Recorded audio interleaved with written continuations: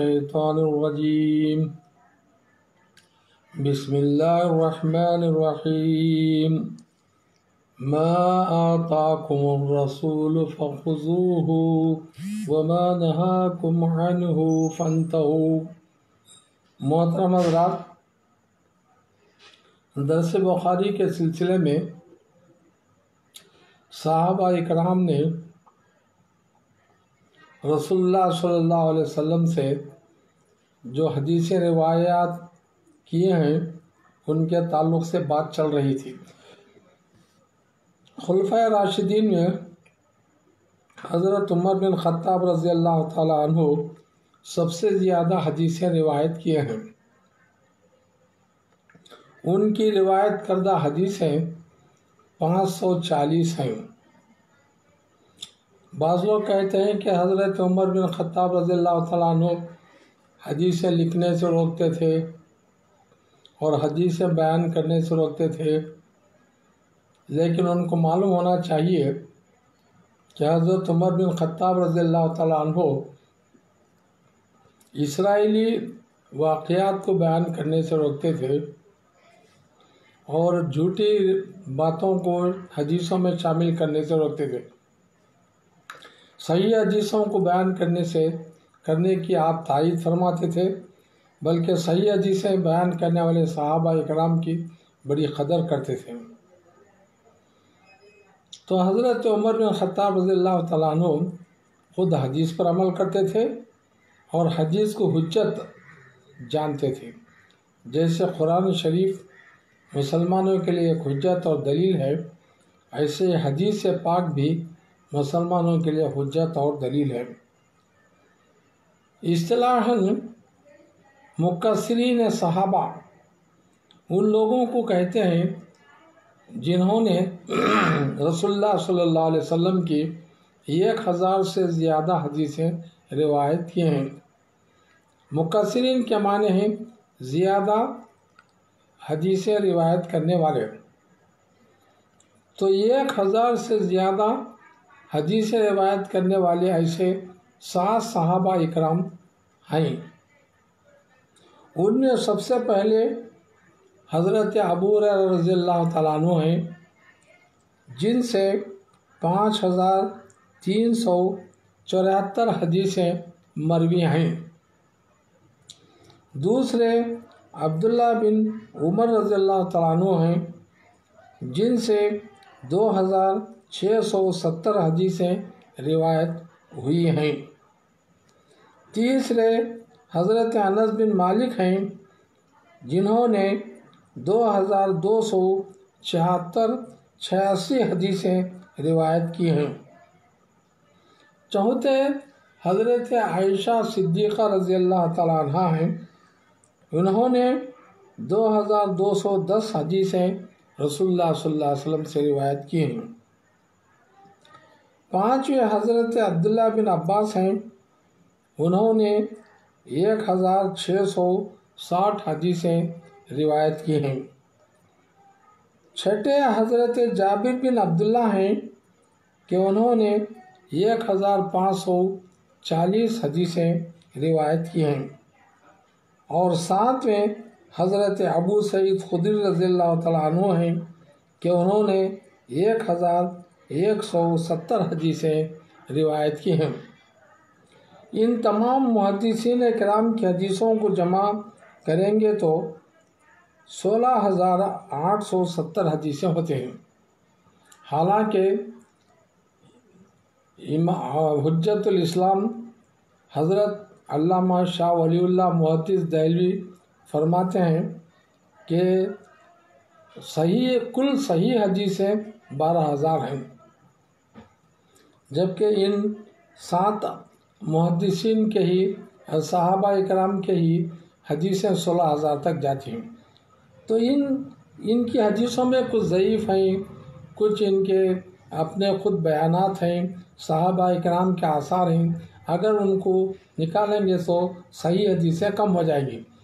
तो कुल सही हदीसें जो सहाबा इकराम से रसोल्ला सल्लल्लाहु से मरवी हैं तो इमाम शाह फरमाते हैं कि बारह हज़ार से पंद्रह हज़ार तक हो सकती हैं।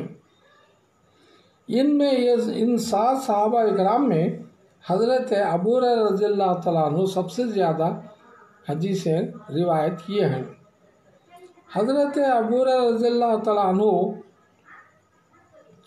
ये यमन के रहने वाले थे और मशहूर कबील दौस से ताल्लुक़ रखते थे और ये सात हिजरी में मदीना आए और रसोल्ला वसल्लम की खिदमत में पहुँचे।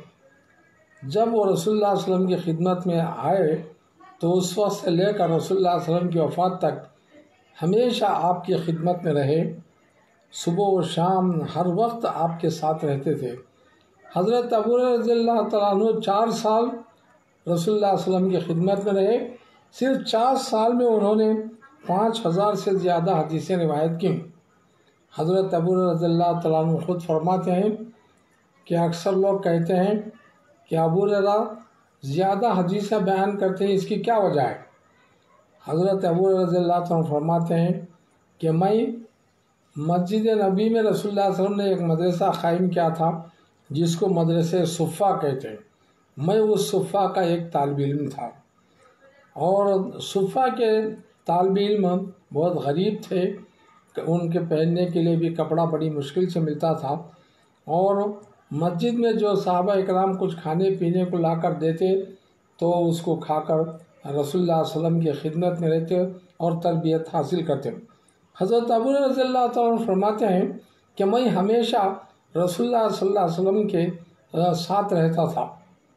और रसुल्ला वसल्लम के साथ उस वक्त रहता था जबकि आपके पास कोई नहीं रहता मैं हमेशा सुबह शाम रसुल्ला वसल्लम की खिदमत में रहने की वजह से आप सल्लल्लाहु अलैहि वसल्लम से बहुत ज़्यादा हदीसों को मैंने याद किया और उन हदीसों को मैंने जो है, ताबीन को पहुँचाया और उन्होंने, तब ताबीन को और उन्होंने मुहदसिन के इस को, फिर उसके बाद मुहदसिन हदीसों में इन हदी, इन हदीसों को जमा कर दिया। तो हज़रत अबू रज़ी तु कहते हैं कि एक मरतबा रसोल्ला वसल्लम मुझ पर बड़े मेहरबान थे। एक मरतबा मैं जो है मदरसे सुफ़ा में एक दिन भर रहा, मुझे खाने को कुछ नहीं मिला, बहुत भूख लग रही थी, कमज़ोर हो, कमज़ोरी जो है मुझ पर ज़ाहिर होने लगी। तो मैं, जो है मस्जिद नबी के बाहर आकर किसी साहबा कराम का इंतज़ार करने लगा कि कोई अगर मुझे घर ले जाए और कुछ खिला दे तो बड़ी मेहरबानी होगी। चुनाचे हज़रत अबू रजा कहते हैं कि उस वक्त हज़रत अबू बकर आए। मैंने उनको, उनसे एक आयत का मतलब पूछा। हालाँकि उस आयत का मतलब मैं उनसे ज़्यादा अच्छा जानता था, लेकिन इसलिए पूछा कि वो मेरी कमज़ोरी को महसूस करके मुझे घर ले जाए और कुछ खिलाएँ, पिलाएँ तो बहुत मेहरबानी होगी। लेकिन हज़रत अबू बकर रज़ी तु उस आयत का मतलब बताकर चले गए।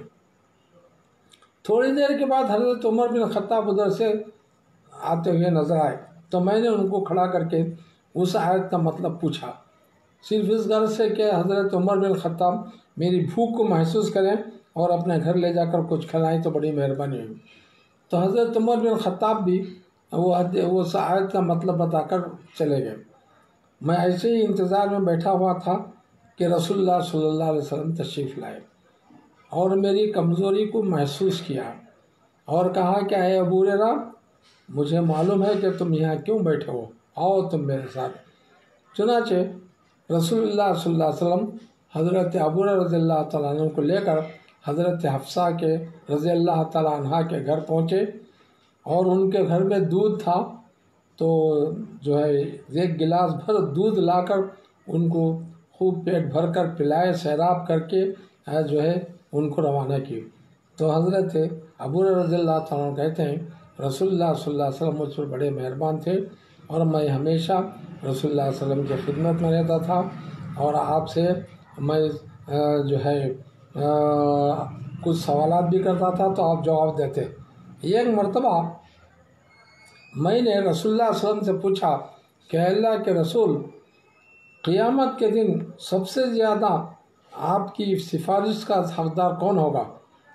तो रसुल्ला वसलम ने हज़रत अबूरा से कहा कहे अबूरा मुझे मालूम था कि यह सवाल तुम्हारे सिवा कोई नहीं पूछेगा।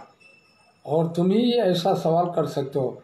सुनो, जो शख्स मेरी सुन्नतों पर ज़्यादा से ज़्यादा अमल करेगा तो वो शख्स क़यामत के दिन मेरी सिफारिश का ज़्यादा मुस्तक होगा और मुझसे ज़्यादा बहुत करीब रहेगा।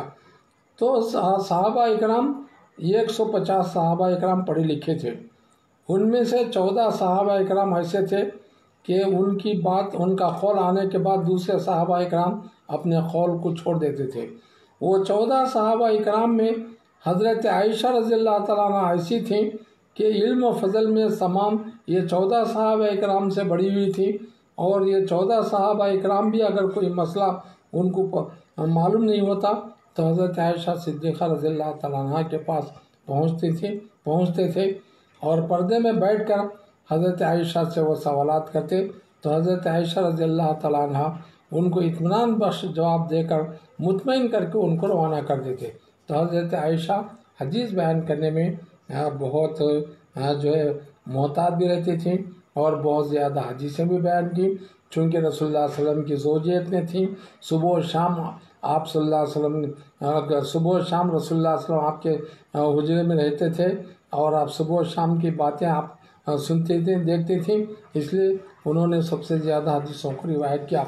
तो गर्ज अब हदीस से रिवायत करने में साहब इकरम बहुत चुस्त थे और बड़े मेहनती थे और बड़े हाफिज थे। वो लिखना लिखना कम जानते थे, लेकिन याद करके हिफ्स जहन में हदीसों को महफूज करना बहुत अच्छा जानते थे। इन्होंने रसुल्ला के ज़माने में लिखने का रिवाज नहीं था। लेकिन साहबा इक्राम ने रसोल्ला वसम की सारी हदीसों को याद करके लोगों तक पहुँचाया। अल्लाह ताली हमको रसोल्ला वसम प्यारे रसोल्ला वसम के हदीस पर अमल करने की तोहफ़ी अता फ़रमाए। असल वरहमल व रहमतुल्लाहि व बरकातहू